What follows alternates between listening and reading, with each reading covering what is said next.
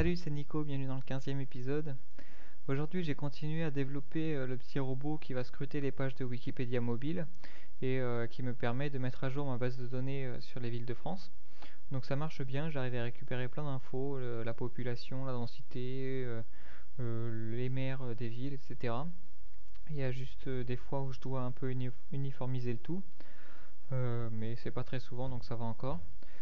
Euh, le seul petit souci, c'est que j'ai peur euh, que Wikipédia euh, bannisse mon IP parce que je fais quand même deux requêtes par seconde et j'en ai un peu plus de 38 000 à faire. Donc ça fait un paquet de requêtes et j'ai peur qu'ils considèrent que je les attaque.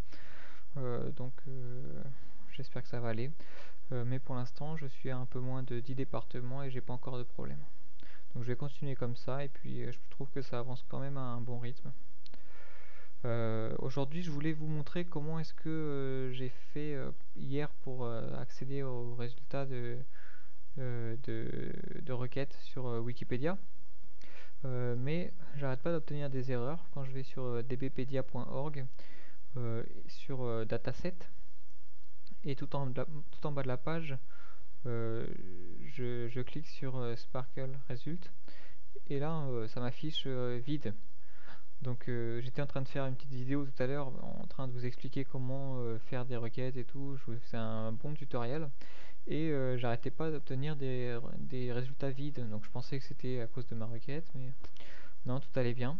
Et en fait, c'est dbpedia.org qui a apparemment un problème ce soir.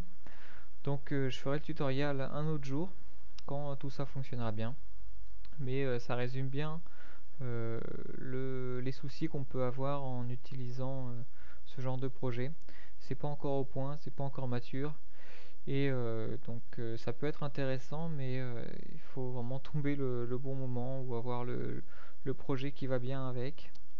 mais voilà, dans mon cas, dans mon cas, ça, ça marchait pas parce que les informations sur les villes étaient réparties dans diverses propriétés et c'était pas les mêmes d'une ville à l'autre. Donc ça m'obligeait moi à adapter, euh, à faire plusieurs requêtes en fonction des résultats retournés.